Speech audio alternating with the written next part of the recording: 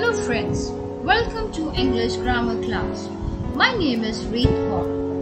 Right now, I have been doing a virtual teaching and have been started with an online session for my students. So today, I have come up with an English grammar and the topic for my English grammar is kinds of sentences. So let us see what are the kinds of sentences. Firstly, what is a sentence? Sentence is a group of words providing us a meaningful sentence or a statement. It has three characteristics. Firstly, it expresses thought and idea. For example, if I give you an example of coming rain is the is it a sensible sentence or does it make any sense? Well, it is just a group of words. It is not conveying any meaning. Rearranging the word, the sentence comes as the rain is coming.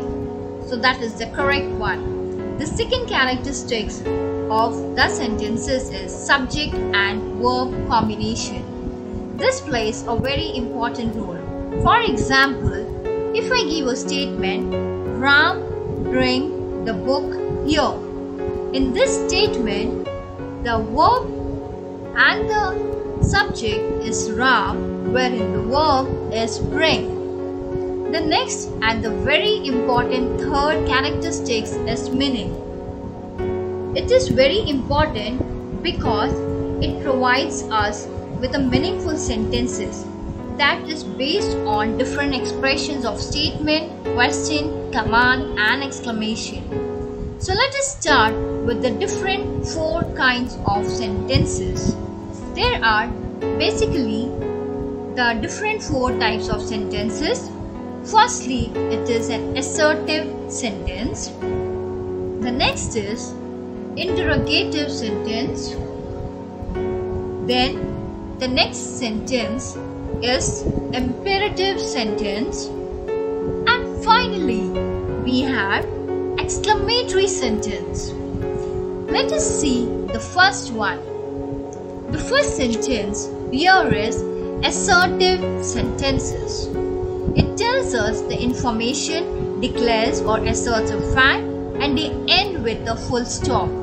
For example, Diwali is the festival of lights in this statement, it is giving us the information that Diwali is a light festival of lights.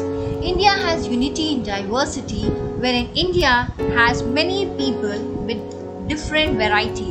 And the name of my school is KVKGSS. That gives the information about the school. The second sentence here is about interrogative sentence. Under this, it asks a question and a question mark is placed at the end of the sentence.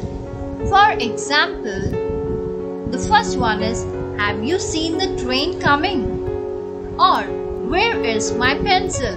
The questions like where, what, why, how, when, or who is asked in interrogative sentence. Then we have the sentence which is imperative sentence. Under imperative sentence, it gives a command, order, request and instructions and it is always ending with full stop. Example, march forward, it gives us a command that makes an imperative. Get out at once, it gives an order that is again an imperative sentence.